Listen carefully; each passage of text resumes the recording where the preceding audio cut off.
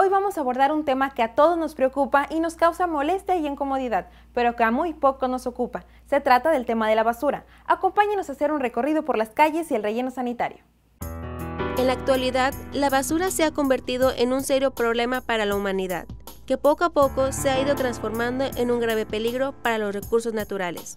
Asimismo, constituye un elevado gasto a las autoridades estatales y municipales por su manejo y disposición final.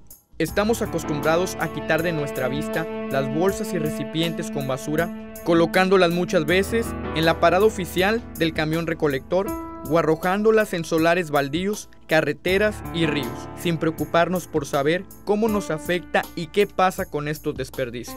En Ciudad Victoria generamos diariamente cerca de 300 toneladas de residuos sólidos urbanos, de los cuales 200 toneladas son de residuos domiciliarios. De este un tercio se puede recuperar para ser reciclada, evitando su envío al relleno sanitario.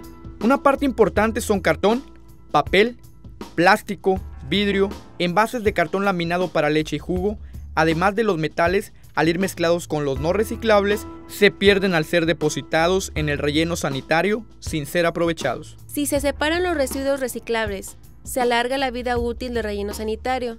Se fomenta el desarrollo de la industria dedicada a la recuperación y el reciclado, además de cuidar al medio ambiente.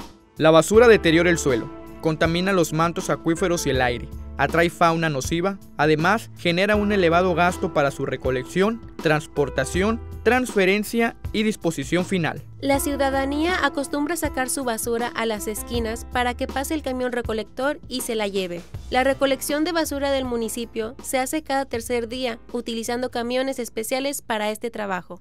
El sistema para que recojan la basura es que cada familia deposita la, basura enfrente de su casa y el problema es que en este sector, no sé de dónde, nos visitan tantos perros callejeros que a veces andan de 15 a 20 en grupitos y vienen y destrozan las bolsas, hacen el tiradero de basura y, nosotros, como no, con mucho gusto colaborar, ¿verdad? Procuramos tener nuestras calles limpias.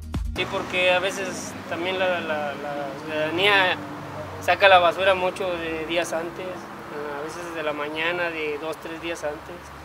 Por eso a veces no tenemos esa cultura. En los basureros o rellenos sanitarios encontramos personas que conocemos como pepenadores, quienes rescatan algunos residuos para aprovecharlos nuevamente. Para ellos no es extraño convivir y comer entre moscas, ratas y olores nauseabundos. Sus miradas y manos buscan con afán entre la basura desperdicios como aluminio, cartón, fierro, botellas de plástico, vidrio, restos de comida o algún otro producto que utilizan o venden para obtener un sustento diario. Yo tengo, desde que tenía yo siete años, que nosotros siempre hemos sido pepenadores.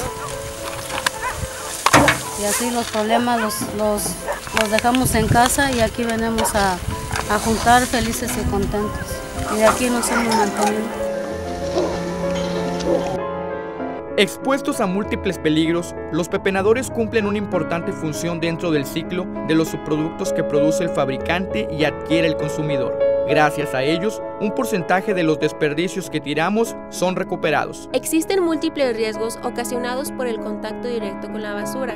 Las personas más expuestas son los recolectores, debido a la manipulación de recipientes inadecuados para el almacenamiento de los desechos o el uso de equipos inapropiados y por carecer de ropa limpia, guantes y zapatos de seguridad. La separación y selección de materiales es realizado en las peores condiciones y sin la más mínima protección. Todas esas personas tienen una incidencia muy alta de parásitos intestinales, además presentan lesiones en las manos y en los pies, así como también lastimaduras en la espalda, hernias, heridas y enfermedades respiratorias, entre otras. La basura hoy en día es una verdadera amenaza para la vida del planeta, por lo que es urgente buscar soluciones que eviten el grave daño que está ocasionando al hombre y a nuestro ambiente. Ahora sabemos que la basura también es una cultura y que existen personas que dependen del relleno sanitario, personas que han aprendido a sobrevivir de los desechos que hay en la ciudad. Ayudemos a estas personas clasificando tu basura. Gracias por su atención.